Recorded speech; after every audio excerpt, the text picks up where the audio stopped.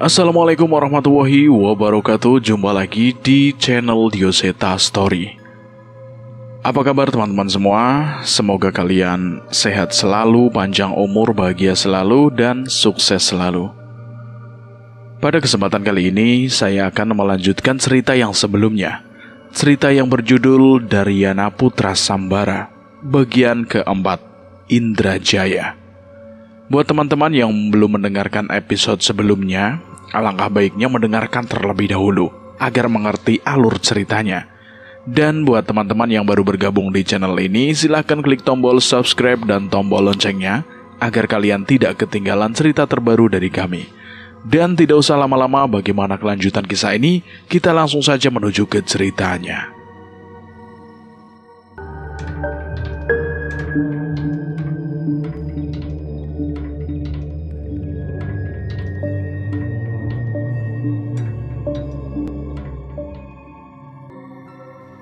Hidupku benar-benar berubah.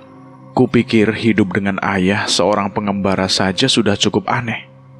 Tapi kini aku mengetahui kenyataan bahwa ayah dulunya adalah patih kerajaan.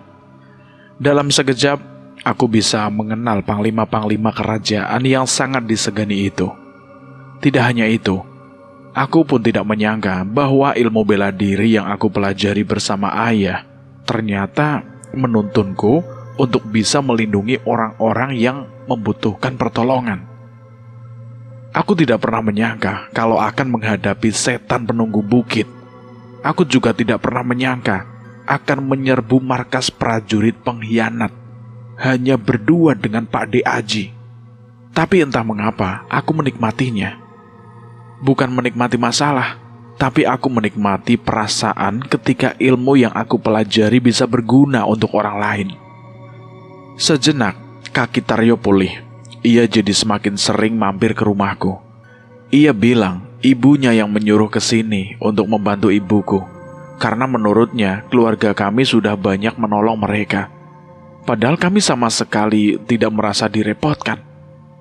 Tapi dengan seringnya Taryo datang ke rumah, aku jadi semakin leluasa untuk pergi meninggalkan rumah. Aku sudah bercerita kepada ibu tentang perkenalanku dengan Pak De Aji dan tentang desa yang pernah ku selamatkan. Saat itu wajah ibu terlihat khawatir, tapi ibu yang mengatakan bahwa mungkin saja aku juga memiliki takdir yang besar seperti ayahku. Kini sudah tiga hari aku tinggal di desa Ketipayan, sebuah desa yang berjarak setengah hari dari desaku.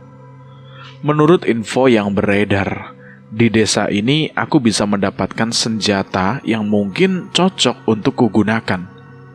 Memang aku memiliki pedang milik Panglima Mardaya, tapi itu artinya aku akan membawa nama kerajaan di pundakku saat menggunakannya. Tidak, aku tidak mau. Beban itu terlalu berat. Aku harus mencari senjata yang tangguh, yang benar-benar bisa kugunakan dan mudah aku bawa pandai besi. Memang masnya butuh apa? Kalau sekedar pisau, cangkul, dan golok untuk keperluan sehari-hari, di pasar juga ada kok mas. Ucap pemilik kedai tempat aku beristirahat. Bukan seperti itu. Saya butuh sesuatu untuk senjata. Mungkin seperti pedang atau belati yang bisa aku gunakan untuk bertarung. Balasku pada orang itu. Kali ini, pemilik kedai itu memperhatikanku dengan bingung. Masnya masih muda loh. Memangnya mau bertarung dengan siapa? Atau masnya mau ikut perang menjadi prajurit relawan? Enggak, Pak. Saya mau mengembara. Entah mengapa saya sering sial sampai harus mengalami pertarungan. Setidaknya ya, saya itu punya pegangan lah untuk bela diri. Pemilik kedai itu mengangguk, mengerti. Mungkin ia bisa menilai bahwa aku memang serius dengan pertanyaanku. Ada beberapa empu pandai besi yang ahli yang menetap di desa ini. Kalau bisa datang ke Empu Taru di barat desa atau Empu Jarit di timur desa. Kalau bayarannya cukup, mereka akan membuat senjata yang kualitasnya seperti senjata kerajaan. Empu Taru dan Empu Jarit ya pak? Baik pak, saya akan mencoba menemui mereka. Tapi sebenarnya ada yang lebih hebat dari mereka. Sayangnya ia jarang sekali mau menerima pesanan senjata dan sulit ditemui. Namanya itu Empu Randu Setro. Siapa tahu kamu beruntung bertemu dengannya. Saya tidak muluk-muluk, Pak. Sebaik-baiknya senjata adalah apabila tidak perlu digunakan. Pemilik kedai itu tersenyum mendengar kata-kataku. Ya memang itulah yang diajarkan oleh ayah. Bahkan bagi ayah, melarikan diri itu lebih terhormat dibanding harus saling menumpahkan darah. Tentunya dengan syarat tidak ada orang yang harus dilindungi dan tidak ada hal penting yang harus dibela. Aku memperhatikan sekeliling desa yang jauh lebih ramai daripada desaku ini. Selain lebih besar, banyak juga orang yang masih memakai pakaian prajurit berlalu lalang di desa. Tidak hanya prajurit Indrajaya, ada beberapa prajurit kerajaan aliansi yang juga mencari senjata di tempat ini. Siapa juga yang mau membeli senjata sampah itu? Pergi sana! Tiba-tiba terdengar suara kericuhan dari salah satu sisi pasar desa. Tolong pak, beli saja belati ini. 20 keping sudah cukup. Pinta seorang pemuda yang memohon agar seseorang pedagang mau membeli belati miliknya. Kalau ku beli dua keping, terus harus kujual berapa? Tanya saja langsung pada mereka. Kalau mau langsung saja jual ke mereka. Pedagang itu mengarahkan orang itu untuk menjual belati itu pada pengunjungnya. Seperti ucapannya, tidak ada satupun dari pengunjung itu yang mau membelinya. Pedagang itu pun mengusirnya. Namun pemuda itu bersikeras untuk meminta pedagang itu membelinya. Akhirnya pedagang itu dengan terpaksa mengusirnya dengan kekerasan. Jangan, jangan pukul saya. Saya butuh uang. Ucap pemuda itu. Walau terus dipukuli, ia masih terus berusaha menjual belati itu. Aku yang tidak tega melihat pemandangan itu pun mencoba menghentikan pedagang itu. Eh, Pak, Pak, sudah, Pak. Biar saya yang bawa dia pergi, Pak. Hati-hati, Nak. Jangan sampai kamu ketipu olehnya. Tidak, Aku harus menjual belati ini hari ini juga. Pemuda itu bersikeras, namun aku mencoba menyadarkannya. 20 keping tidak akan cukup untuk mengobatimu bila kamu sampai lumpuh. Ucapku yang menarik kerahnya dan melemparkannya ke tanah. Pemuda itu menepis tanganku dan melepaskannya dari kerahnya. Sudah, jangan bodoh. Ucapku pada pemuda itu. Tapi sepertinya, pemuda itu terus bersikeras ingin menemui pedagang lainnya. Eh, mas, biar ku beli belatimu. Teriaku pada pemuda itu. Aku ada 20 keping emas. Seharusnya cukup untuk membeli sebuah pedang. Tapi sekilas, belatinya tadi terlalu mahal bila harus dihargai dengan 20 keping emas.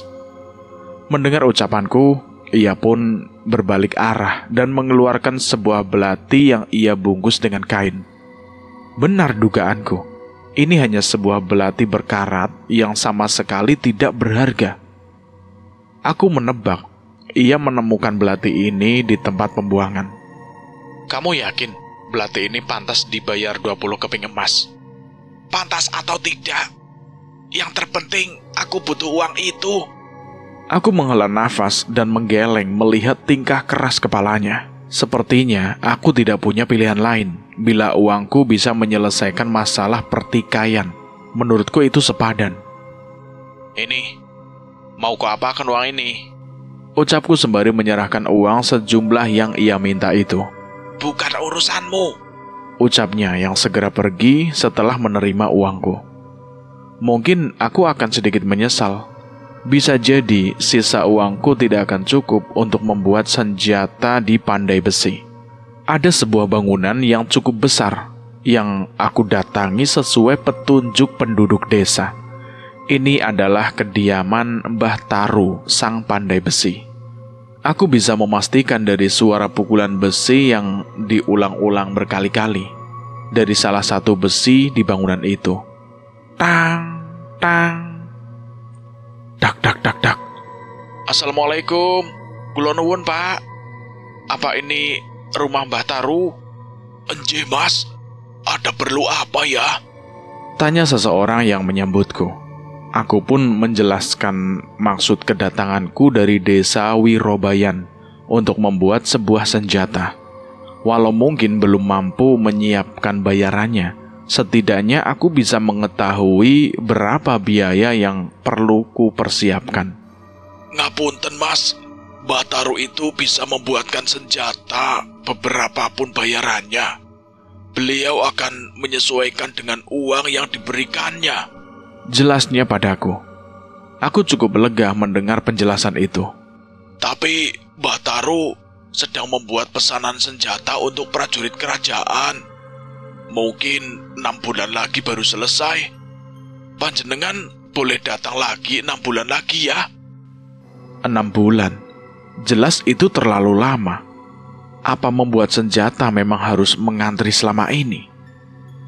Aku ingin mampir ke kediaman Empu Jarit, tapi sepertinya hari semakin malam. Aku pun memutuskan untuk beristirahat di penginapan dan ke tempat Empu Jarit besok pagi. Brak! Menjelang pagi, aku terbangun dengan suara yang muncul dari luar kamar. Derap langkah beberapa orang terdengar memasuki penginapan dengan cepat. Ada sedikit keributan yang aku dengar di luar. Namun itu tidak lama. Suara itu terdengar segera meninggalkan penginapan. Aku mengira mereka adalah pelanggan yang ingin menginap, namun tidak mendapatkan kamar. Tapi ternyata aku salah. Saat aku terbangun di pagi hari, aku tidak menemukan pemilik penginapan di tempatnya. Aku berniat berpamitan karena hari ini aku sudah harus kembali ke rumah. Sembari menunggu pemilik penginapan, aku mendengar suara keramaian dari arah alun-alun desa. Eh, banyak prajurit berkuda di sana. Ada apa ya? Terdengar suara beberapa orang yang bergunjing sembari bergegas ke alun-alun desa. Aku pun pergi. Apakah mungkin pemilik kedai juga sedang menyaksikan apa yang sedang ramai di sana? Mungkin tidak ada salahnya aku ke sana dan kembali lagi nanti. Kerumunan mulai berbentuk di alun-alun desa. Pasar yang sebelumnya digunakan untuk berjualan kini ramai dengan orang yang menonton sesuatu. Mereka tidak bersorak riang seperti sedang menonton pertunjukan. Sebaliknya, mereka terlihat ke tengah lapangan dengan khawatir. Ada tiga orang pria diikat di tiang di tengah lapangan. Mereka adalah pengkhianat kerajaan dengan beraninya, mereka menyembunyikan buronan kerajaan. Teriak salah satu prajurit. Tuan, saya tidak menyembunyikan siapa pun. Saya hanya melayani siapa pun yang datang ke penginapan saya. Aku mengenal orang itu. Ia adalah pemilik penginapan. Di sebelahnya adalah pemilik kedai tempatku menghabiskan waktu kemarin. Alah, tidak usah ngelak. Saksi mata sudah ada. Kalian harus dihukum mati atas perintah kerajaan. Teriak prajurit itu. Pemilik penginapan dan pemilik kedai itu pun memohon ampun kepada mereka, tapi tidak dengan pria yang satunya lagi. Cuy, kau menuduh kami menyembunyikan buronan. Kami tahu sebenarnya kalian hanya takut kami membocorkan kebusukan kalian yang diceritakan oleh orang itu kan? Iya kan? Teriak orang itu kepada prajurit. Orang itu begitu berani. Walau sedang dalam kondisi terikat, ia malah menantang prajurit itu. Aku pun merasa ada yang aneh dengan para prajurit itu. Sudah jelas, hukuman di depan umum seperti ini dilarang di kerajaan ini. Hukuman di depan umum hanya boleh dilakukan di halaman istana. Habisi orang itu terlebih dahulu. Perintah prajurit itu. Salah seorang prajurit pun menarik pedangnya dan mendekat ke arah pemuda itu. Merasa satu nyawa akan melayang, aku pun memberanikan diri untuk menghadang serangan prajurit itu. Jangan tuan, sepertinya mereka tidak bersalah. Teriakku yang segera menghadang prajurit itu. Prajurit itu pun menghentikan pedangnya dan menoleh kepada pimpinannya. Saya kenal mereka. Pemilik penginapan dan pemilik kedai adalah orang baik. Mereka tidak mungkin berkhianat. Pemimpin para prajurit itu pun mendekat ke arahku. Mereka sudah terbukti bersalah. Tugas kami hanya menghukumnya. Minggir. Kerajaan memiliki peraturan bahwa sudah tidak ada lagi eksekusi di depan umum. Kalaupun ada, hanya terjadi di halaman istana. Itu pun harus ada surat keputusan dari Dewan Istana. Mendengar ucapanku, pemimpin para prajurit itu pun semakin kesal. Ia pun menarik pedangnya dan mengacungkannya kepadaku. Akulah hukum di tempat ini. Pimpinan 100 prajurit batalion Brasma. Gunawatara. Ucapanku adalah mutlak. Ucap prajurit itu. Mendengar ucapannya, warga yang sebelumnya tidak setuju dengan perbuatan mereka pun gentar dan mundur. Aku juga tidak menyangka Panglima Brasma memiliki prajurit yang sesombong ini. Titah Raja adalah mutlak. Beliau membuat peraturan yang seadil-adilnya untuk rakyat. Bukankah yang kau perbuat itu berarti melanggar titah Raja? Balasku pada prajurit itu. Eh, bocah tengik! Singkirkan dia! Perintah pimpinan prajurit yang bernama Watara itu. Beberapa prajurit mencoba menyeretku, namun aku menghalau mereka dan memasang kuda-kuda sebagai tanda aku tidak akan menyingkir tanpa perlawanan. Sudah nak, kasihan kamu kalau sampai mati sia-sia. Beberapa warga mencoba merayuku untuk mundur. Iya nak, sudah, jangan nekat. Ucap seorang ibu yang ikut menonton keramaian ini. Aku pun menoleh kepada mereka sebentar dan kembali waspada. Maaf bu, melindungi nyawa manusia itu sama sekali bukan perbuatan sia-sia.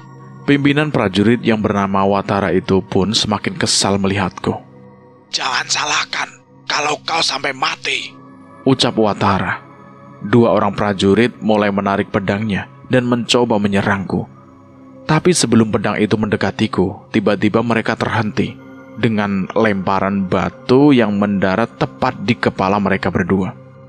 Gunawatara, aku tidak pernah mendengar nama ini di batalion Panglima Brasma. Terdengar suara seseorang yang mendekat ke arahku. Jelas sekali aku mengenal suara itu.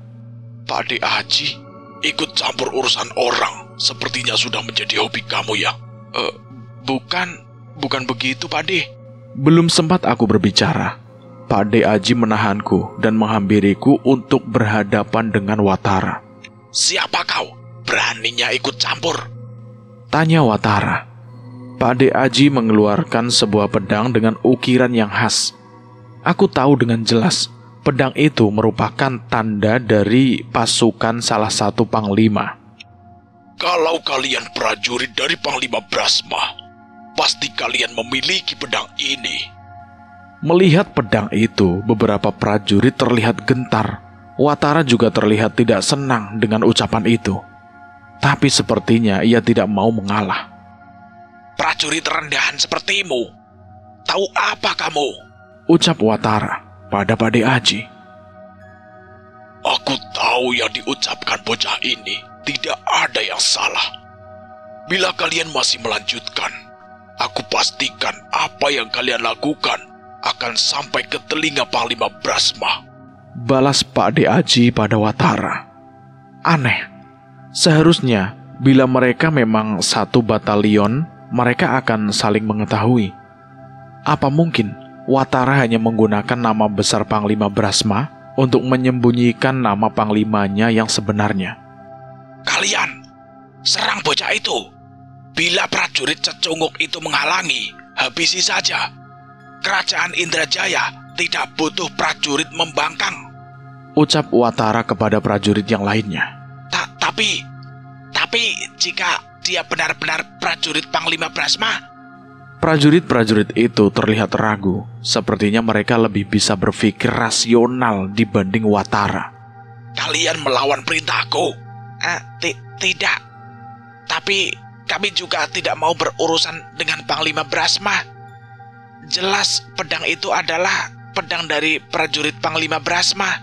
Watara pun geram. Ia pun mendekat ke arah kudanya dan mengambil sebuah benda yang ia pasang di lengannya. Setelahnya, Watara mendekat ke arah prajurit-prajurit itu dan menggenggam wajahnya. Perintahku adalah mutlak. Ucapnya sembari memindahkan tangannya ke ketiga wajah prajuritnya. Seketika raut wajah ketiga prajurit itu berubah. Wajahnya penuh amarah dengan tatapan mata yang kejam. Mereka sama sekali tidak ragu lagi untuk menarik pedangnya. Pak Haji, hati-hati. Ada sesuatu yang merasuki mereka. Ucapku yang jelas merasakan ada beberapa bayangan yang mengendalikan prajurit itu. Kamu bisa melihat itu. Iya, Pak De. Tiga buah pedang menyerang Pak De Aji secara bersamaan. Dengan tangkas Pak De menangkis ketiganya. Tapi sepertinya ia akan kewalahan melawan mereka sendirian. Aku pun menyerang dan memisahkan salah satu dari prajurit itu untuk menghadapinya. Sayangnya, ternyata mereka cukup tangguh. Jauh berbeda dari prajurit yang sebelumnya pernah aku lawan. Sulit melawan mereka dengan tangan kosong. Sayangnya, pedang Panglima Mardaya aku tinggal di rumah. Saat ini hanya belati berkarat yang aku bawa di kantongku. Tidak ada pilihan lain. Aku pun menggunakan belati itu untuk menepis serangan dari prajurit yang melawanku. Belati apa itu? Kau meremehkan prajuritku. Ledek Watara padaku. Kudiamkan saja ledekan itu dan kubalaskan dengan mementalkan prajurit itu hingga berbenturan dengan kuda prajurit Watara. Kemenangan sebuah pertarungan tidak ditentukan dari senjatanya. Ucapku pada Watara. Walaupun geram, kini ia mencabut pedangnya dan bersiap menyerangku. Coba buktikan ucapanmu. Aku menangkis pedang Watara dengan belati di tanganku ini. Tapi yang terjadi, aku malah terpukul mundur. Sepertinya aku sudah salah memprovokasi orang ini. Pak De Aji yang melihat aku terdesak mengambil sebuah kendi kecil dari pinggangnya dan melemparkannya hingga jatuh dan pecah di tanah. Ada air yang menggenang dari kendi itu. Sembari melawan kedua prajurit tadi, ia membacakan sebuah ajian dan merubah genangan air itu menjadi uap dan meniupkannya kepada kedua prajurit itu dan ke arah kami. Aku tidak merasakan apa pun dari uap air itu, tapi aku menyaksikan ada asap hitam yang keluar dari ketiga prajurit tadi. Mereka pun mulai ragu untuk menyerang kami. Pak Ade Aji menggunakan kesempatan itu untuk menghalau serangan Watara dan memberi kesempatanku untuk bernafas. Jangan diam saja. Serang mereka. Perintah Watara kepada prajurit lainnya. Tapi ketika prajurit itu masih ragu dan tetap berdiam diri. Walau begitu, Watara tetap tidak berhenti mengayunkan pedangnya sekuat tenaga dan menyerang Pak De Aji. Tapi Pak De Aji tidak lengah. Sebaliknya, ia malah menajamkan serangannya dan mementalkan lengan Watara. Aku yang telah bersiap pun melihat celah itu berganti posisi dengan Pak De Aji dan melancarkan sebuah tendangan yang aku bentuk dengan seluruh kekuatanku. Watara pun terpental setelah tendanganku mendarat tepat di dadanya. Ia kesulitan lagi untuk bernafas, namun masih terus mencoba untuk berdiri. Serang! Serang mereka! Perintah Watara kepada ketiga prajurit itu. Ketiga prajurit itu hanya diam dengan ragu. Kalian semua! Serang! Serang! Watara memerintahkan sisa prajurit di belakangnya untuk menyerang. Tapi mereka juga enggan. Aku yakin mereka juga tahu bahwa Pak De Aji benar-benar berasal dari batalion Panglima Brasma dan tidak berani macam-macam. Sudah, kita pergi saja Tuan Watara. Ucap salah satu prajurit. Bukannya mengikuti saran yang tepat itu, ia malah memandang dengan kesal prajurit itu dan mendekatinya. Pergi, kau saja yang pergi. Ucap Watara pada prajurit itu. Tapi ucapannya itu disusul dengan mulut prajurit itu yang berlumuran darah. Pedang Watara menembus tubuh prajurit itu. Biadab, dia anak buahmu. Aku berteriak. Anak buah yang tidak ada gunanya. Lebih baik mati saja.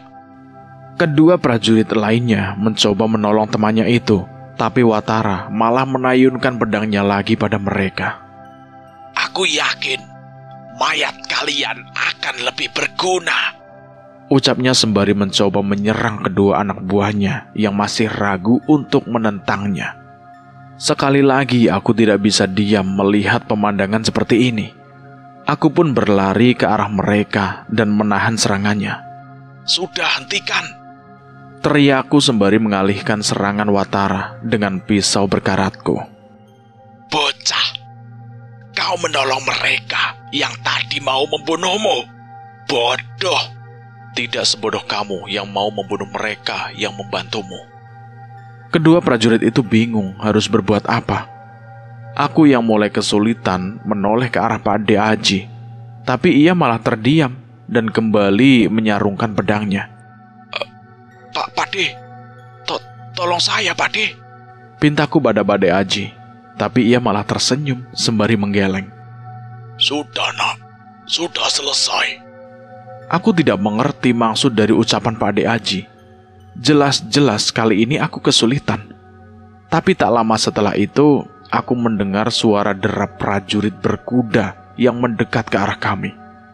Bersamaan dengan itu, sebuah anak panah melesat dan menancap tepat di telapak tangan Watara. Cerak! Ah, siapa? Siapa mereka? Sekumpulan prajurit Watara itu pun seketika menyingkir dan membuka jalan untuk sekumpulan pasukan berkuda yang lewat itu. Ah, Pak Panglima Brasma? Prajurit Watara ketakutan dan segera berlutut kepada pemimpin pasukan berkuda itu. Tak salah lagi, ia adalah Mas Brasma. Melihat sosok Mas Brasma, seketika Watara gentar. Ia hanya mampu menahan sakit di tangannya sembari menatap takut padanya. Pak, Panglima, kami sedang...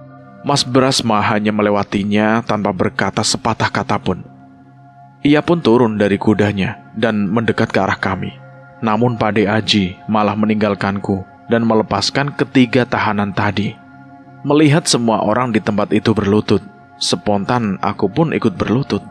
Tapi saat menghampiriku, Mas Brasma malah memukul kepalaku. Gak usah ikut-ikutan. Eh, uh, ma maaf mas, gak enak kalau berdiri sendirian. Seketika wajah Watara, para prajurit, dan warga desa pun bingung melihat keakraban kami. Kau memang harus berlutut, tapi bukan kepadaku. Ia pun berjalan menghadap kepada Pak De Aji dan berlutut di hadapannya. Saat itu juga seluruh prajurit Panglima Brasma ikut berlutut menunjukkan hormatnya pada Pak De Aji. Aku melihat pemilik kedai dan pemilik penginapan itu bingung dengan siapa yang menolongnya.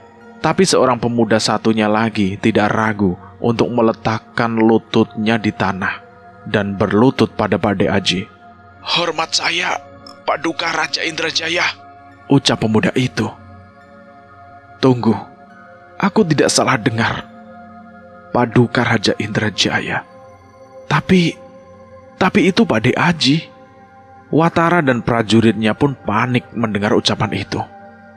Ia tidak mungkin mengira ucapan pemuda itu adalah sebuah kebohongan setelah melihat seseorang panglima besar Brasma berlutut pada seseorang. Aku yang tidak mengerti pun segera mendekat kepada Pade Aji.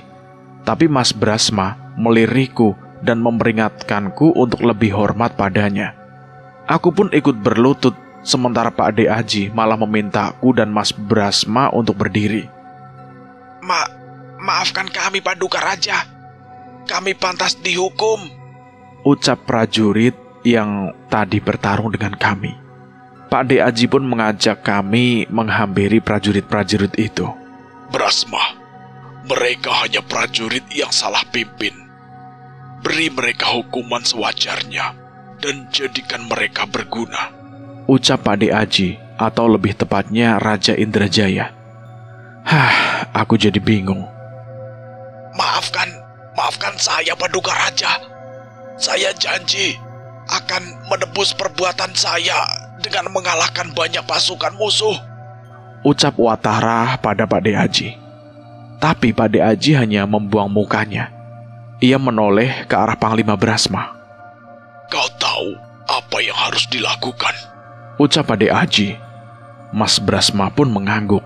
Sepertinya ia bisa membaca kekesalan Pak De Aji. Aku bisa memaafkan setiap serangan yang kalian arahkan kepadaku. Tapi, membunuh teman sendiri adalah kesalahan yang tidak bisa kumaafkan. Seketika wajah Watara terlihat pucat. Ia benar-benar ketakutan. Sementara itu, kedua prajurit Brasma segera mengambil rantai dan mengikat Watara. Bawa orang ini ke markas, biar aku yang menyampaikan pesan pada panglimanya. Perintah Mas Brasma kepada para prajurit. Beberapa prajurit pun membawa Watara pergi. Keempat prajurit menaiki kuda, sementara Watara berjalan kaki di belakang keempat prajurit berkuda itu dengan rantai yang terikat padanya. Walau sosok yang mengancam nyawaku sudah pergi, aku belum bisa bernafas lega saat ini aku bingung dengan keberadaan Pak De Aji di dekatku. Eh, Pak, Pak De Aji, J jadi Pak Duka. Mulutku keluh mengetahui kenyataan ini. Pak De Aji hanya menepuk pundaku dan melewatiku bersama Panglima Brasma. Sudah, sudah. Kita bahas di kedai saja. Semuanya bubar. Tuan pemilik kedai, siapkan makanan terbaikmu ucap Panglima Brasma pada pemilik kedai itu. Ba baik, dengan senang hati Tuan. Setelah kejadian itu banyak warga yang mendekat dengan malu-malu. Mereka ingin melihat wajah raja mereka. Walau saat ini ia hanya mengenakan pakaian biasa, layaknya seorang pengembara. Yang mulia, bila yang mulia berkehendak, apa berkenan memberi restu pada anak kami? ucap sepasang suami istri yang membawa anaknya mendekat kepada Pak De Aji. Pak De Aji pun tersenyum dan memberikan restu kepada anaknya. Tidak hanya satu, ada beberapa dari warga desa yang mendekat. Pak De Aji sama sekali tidak keberatan menyapa mereka.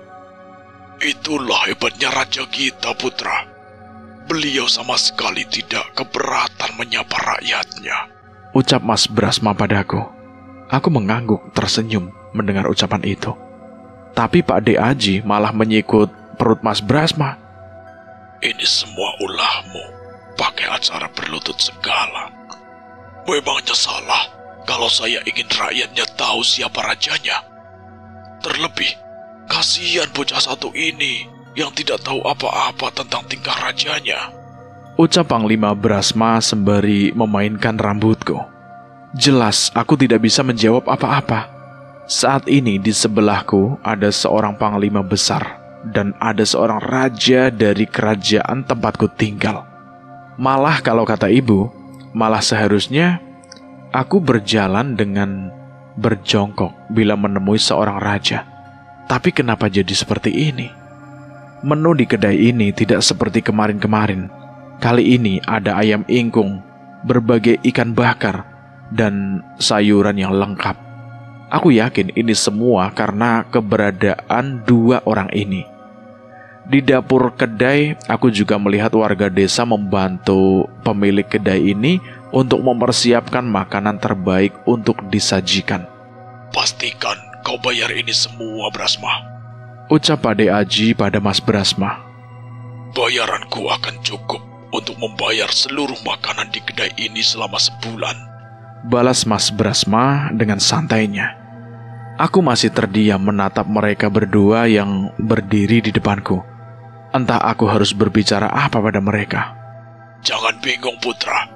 Aku tetap Pak Demo. Eh, ta tapi yang mulia adalah raja di kerajaan ini. Sa saya Entah aku tidak bisa melanjutkan pembicaraanku. Melihat kebingunganku, Pak De Aji menarik nafas dan tersenyum. Kalau begitu, saya akan menceritakan sesuatu. Semoga setelah ini kau tidak canggung lagi. Pak De Aji atau lebih tepatnya Raja Indrajaya bercerita tentang sebuah pertempuran di Setrageni. Saat itu kerajaannya bertarung dengan kerajaan terkuat saat itu, kerajaan Dharmawijaya. Ada tiga patih yang diutus untuk melawan pasukannya. Patih Andaka, Gardapati, dan Widarpa ayahku. Mereka adalah ketiga patih perkasa yang selalu bisa menaklukkan kerajaan yang dilawannya. Dalam pertempuran itu pun seluruh patih dan panglima kerajaan Indrajaya takluk dengan serangan mereka.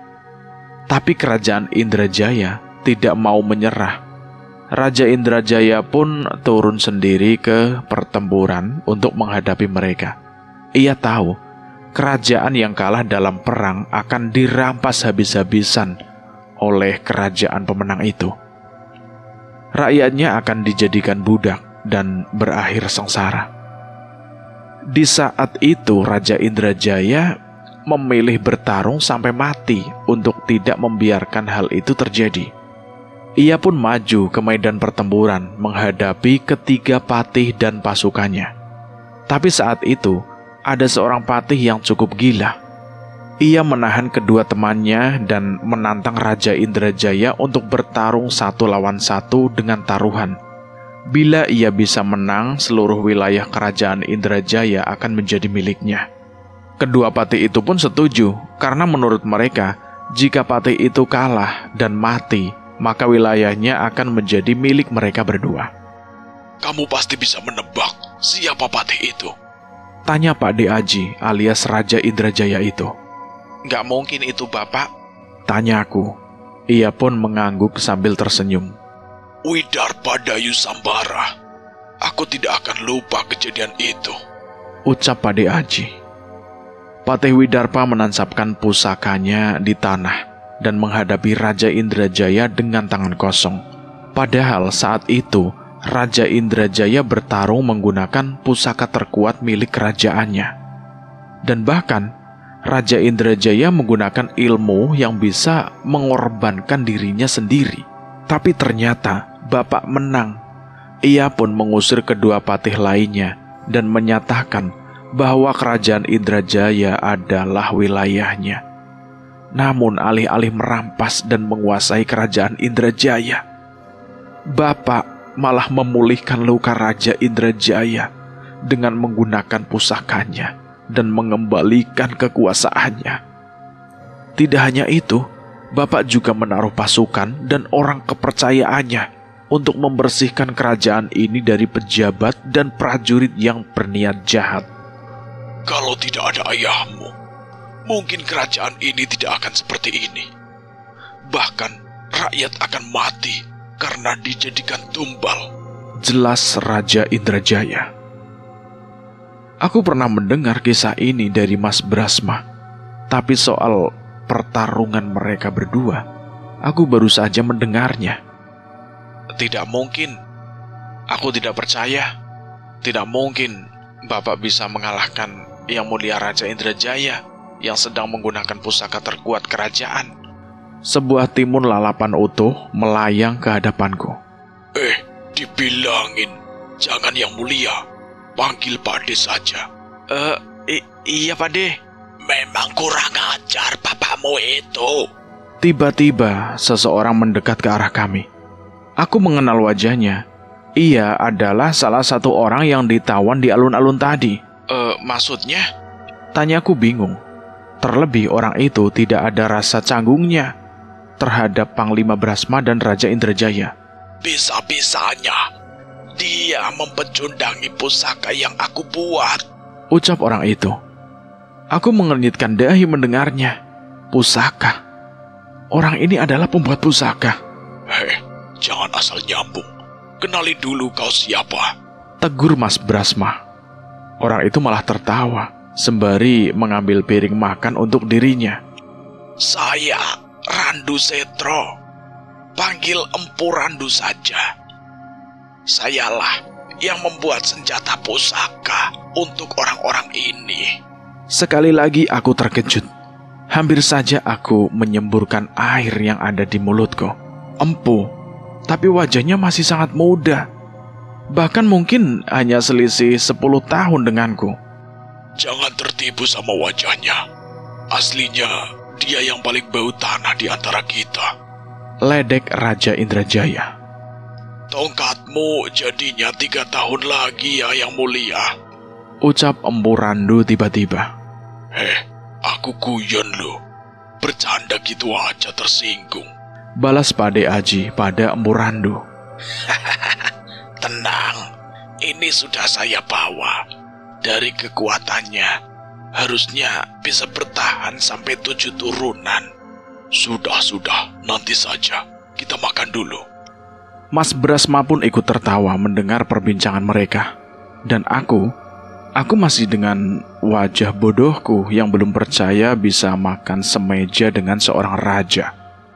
Tapi kenapa Pak D mengenalkan diri dengan nama Aji? Tanyaku penasaran. Pak D tersenyum sejenak dan meminum teh dari cangkirnya. Aji adalah nama salah satu prajurit Brasma. Mendengar itu, Mas Brasma pun menoleh. Sepertinya ia memang baru tahu mengenai nama penyamaran Pak D. Prajurit itu mengorbankan nyawanya untuk menolong saya. Saat mengetahui ada penyusup yang masuk untuk membunuh saya di markas Brasma, Aji berinisiatif mengenakan pakaian kebesaran saya dan bertarung dengan penyusup itu hingga meregang nyawa. Jelas Pak De Aji padaku. Mas Brasma menarik nafas. Matanya berkaca-kaca mengingat kejadian itu. Selain berhasil menyelamatkan nyawa saya, kematiannya membedakan fakta bahwa ada orang dalam kerajaan yang mencoba memberontak. Tidak mungkin saya melupakan orang itu. Jelas Pak Ade lagi padaku. Dia juga prajurit yang hebat. Seharusnya ia tidak akan mati bila hanya dikeroyok prajurit biasa. Ada sosok gelap yang membantu penyusup itu yang mengakibatkan kematian Aji. Tambah Mas Brasma padaku. Pak D menghela nafas. Mungkin kejadian itu sepertinya ia juga sempat akrab dengan prajurit yang bernama Aji itu. Saya sangat bangga menggunakan namanya dalam penyamaran, termasuk pedang ini. Ini juga miliknya. Sekali lagi aku mendengar cerita yang membuat aku berdebar. Ternyata ada cerita itu di balik nama penyamaran Pak D. Aji. Jadi, selama penyamaran, tetap panggil saja Pak D. Aji. Kalau sudah seperti ini, panggil Pak D. Indra juga tidak masalah. Jelasnya lagi padaku, Pak D. Indra. Aku memanggil nama seorang raja dengan sebutan Pak D. Taryo pasti tidak akan percaya dengan cerita ini. Lantas, apa tujuanmu ke desa ini, Putra? Tanya Murandu padaku. Eh, membeli senjata, Mas. Eh, Empu, membeli senjata, Empu. Oh, apakah sudah dapat? Aku menjawabnya dengan menggeleng. Bukannya ada pedang dari Mardaya? Sahut Mas Brasma. Ada lambang kerajaan di sana. Kalau saya menggunakan pedang itu seenaknya, bisa saja membawa masalah untuk Mas Mardaya. Balasku yang dibalas juga dengan anggukan oleh Mas Brasma. Ya sudah, biar aku buatkan. Ucap Emburandu padaku. Ah, eh, yang benar. Ta tapi sisa uangku tidak banyak. Empu menceritakan tentang kejadian kemarin saat aku terpaksa membayar sebuah belati berkarat seharga 20 keping emas untuk menghindari pertikaian. Aku nggak butuh uangmu. Kau punya uang sebanyak apa pun juga tidak akan kubuatkan. Justru bayaran yang pantas adalah belati berkarat itu. Ah, belati ini, Empu? Ucapku yang segera mengeluarkannya dari pinggangku. Empu Randu segera merebutnya dariku dan memperhatikannya. Aku menceritakan pada putraku bahwa belati ini tidak ternilai harganya. Ia bisa membawa takdir seorang ke jalan yang tepat. Tapi dia malah menjawab bahwa belati ini tidak berharga. Bahkan dijual dengan harga 20 keping emas saja, tidak ada yang mau. Berarti pemuda itu anak dari Empu Randu. Aku bertanya. Empu Randu pun mengangguk. Jangan terkecoh. Pemuda itu pasti anak dari istri tidak sahnya. Ledek Mas Brasma pada Empu Randu. Berisik. Banyak istri adalah syarat agar aku awet muda. Penipu. Ledek Mas Brasma lagi. Rupanya pemuda itu memang anak Empu Randu. Dia juga mengakui bahwa pemuda itu adalah anak dari istri ketiganya yang tidak hidup serumah dengannya. Kenapa dia sampai menjual pisau itu? Aku bertanya lagi pada Empu. Empu Randu menghela nafas mendengar pertanyaanku itu. Dia dan ibunya memiliki harga diri yang tinggi. Mereka sama sekali tidak mau hidup dari hartaku. Sudahlah, ceritanya merusak suasana. Ayo, kita lanjut makan saja. Aku pun menghargai keputusan Empu Randu untuk tidak menceritakan tentang anaknya itu. Tapi ia berjanji akan membuatkan senjata untukku. Saat sudah jadi, ia akan menyuruh orang untuk menghantarkannya padaku. Acara makan itu berlangsung cukup lama. Kami mengobrol cukup panjang, dan aku pun akhirnya menjadi akrab dengan pemilik kedai dan penginapan. Bahkan pemilik penginapan mempersilahkanku untuk menginap kapan saja di tempatnya dan tidak mau menerima bayaran. Sebelum langit gelap, aku pun ingin berpamitan untuk segera kembali ke desa Wirobayan. Aku tidak ingin membuat ibu untuk lebih khawatir. Belum sempat kami berpisah, tiba-tiba seorang prajurit berlari mendekat dan berlutut di hadapan mereka. Panglima! Panglima! Prajurit itu memanggil dengan terengah-engah. Lapor! Sebaiknya tuan-tuan dan semuanya tidak meninggalkan desa terlebih dahulu. Mas Brasma dan Pak D. Indra bertatapan mendengar ucapan prajurit itu. Jelaskan, ada apa? Eh, Watara. Watara, dia berhasil kabur saat akan dibawa ke penjara. Prajurit itu menceritakan bahwa di tengah perjalanan mereka disergap oleh seorang manusia bertubuh hitam dan berbadan besar. Keempat prajurit yang mengawal Watara tidak mampu berkutik melawannya. Saat makhluk itu mendekat, prajurit itu sama sekali tidak bisa bernafas hingga wajahnya membiru. Padahal makhluk itu tidak melakukan apa pun dan hanya melewati mereka berempat saja. Akhirnya makhluk itu pun melepaskan Watara dan membawanya pergi. Beberapa waktu kemudian terjadi serangan pada beberapa prajurit yang berpatroli di sekitar desa. Mereka diserang makhluk yang bertubuh hitam dengan lidah menjalar, dengan taring dan kuku yang tajam. Banyak prajurit yang terluka parah, tapi beberapa saksi mengaku bahwa melihat makhluk itu berpakaian seperti prajurit Watara. Hah, ilmu hitam lagi. Gumam Pak De Indra. Mas Brasma pun berpikir sejenak dan meminta prajurit itu berdiri. Bentuk informasi di mana kelompok terdiri dari 10 pasukan. Bawa ahli mantra di antara mereka. Pastikan makhluk itu tidak menyerang warga desa. Perintah Mas Brasma kepada prajurit itu. Dalam hitungan menit, suasana desa pun mulai berubah.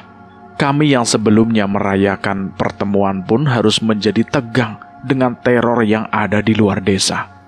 Tabib, bawa tabib ke sini. Tiba-tiba terdengar suara teriakan beberapa prajurit yang baru saja masuk ke desa. Mereka membawa beberapa temannya yang terluka di atas kuda hingga di dalam gerobak. Banyaknya darah menetes di jalan menceritakan seberapa parah lukanya. Luka cakaran. Gumam Empu Randu. Aku pernah mendengar cerita seperti ini dari bapak tentang adanya manusia yang berubah menjadi setan setelah menyerahkan dirinya pada iblis. Makhluk jadi-jadian. Apa Watara sudah menyerahkan tubuhnya pada iblis? Kau tahu tentang itu, Putra? Tanya Mas Brasma padaku. Aku mengangguk. Aku juga sempat mengingat apa yang terjadi di pertarungan bersama Pak De Indra sebelumnya. Tadi saat bertarung, Watara mengenakan gelang pusaka dan membuat telinga prajuritnya dirasuki makhluk yang membuat mereka menurut pada Watara. Mungkin ia memang menggunakan ilmu seperti itu. Pak De Indra mengangguk setuju menginformasi ceritaku. Kami pun menghampiri ke perbatasan desa menyambut prajurit-prajurit yang terluka sembari membawa obat-obatan ringan yang bisa kami gunakan untuk memberikan pertolongan pertama. Sayangnya, korbannya tidak sedikit. Ada lebih dari 10 orang prajurit Mas Brasma yang kembali dengan terluka. Saat itu langit sudah mulai memerah. Seluruh prajurit yang terluka sudah dirawat di dalam desa. Tapi saat itu ada yang menahan kami berempat di sana. Ada sosok yang mendekat ke arah kami. Sosok manusia dengan tubuh yang menghitam, dengan lidah yang memanjang dan taring yang tajam. Tangannya lebih panjang dari manusia biasa hingga melebihi tubuhnya. Rambutnya tidak berbentuk, namun ada bekas hiasan prajurit di kepalanya. Benar ucapan prajurit tadi, makhluk itu mengenakan pakaian yang sama dengan Watara. Terlebih, aku mengingat gelang misterius sama persis dengan yang dikenakan oleh Watara. Apa yang sudah terjadi dengan prajurit itu? Tanya Empu Randu. Sesuatu yang sedang kita selidiki dan ingin kita hentikan. Penggunaan ilmu sesat di antara prajurit Indrajaya. Jelas Mas Brasma. Sosok itu menyadari keberadaan kami berempat. Seketika raut wajahnya berubah penuh amarah, seolah terbakar api dendam yang mendalam. Tapi semakin ia mendekat, wajah kami juga dipenuhi amarah. Wujud jadi-jadian prajurit Watara itu sedang menyeret jasad seorang prajurit yang tubuhnya telah terbelah dan kehilangan pinggang dan kakinya. Cerita ini bersambung dulu sampai di sini. Saya akan melanjutkan ceritanya lagi di episode berikutnya. Bagaimana menurut teman-teman tentang cerita ini? Silahkan tulis di kolom komentar. Buat teman-teman yang belum mendengarkan episode sebelumnya, alangkah baiknya mendengarkan terlebih dahulu agar mengerti alur ceritanya. Dan buat teman-teman yang baru bergabung di channel ini, silahkan klik tombol subscribe dan tombol loncengnya agar kalian tidak ketinggalan cerita terbaru dari kami. Cukup sekian dari saya, mohon maaf jika ada kesalahan kata. Saya pamit undur diri, akhir kata. Wassalamualaikum warahmatullahi wabarakatuh.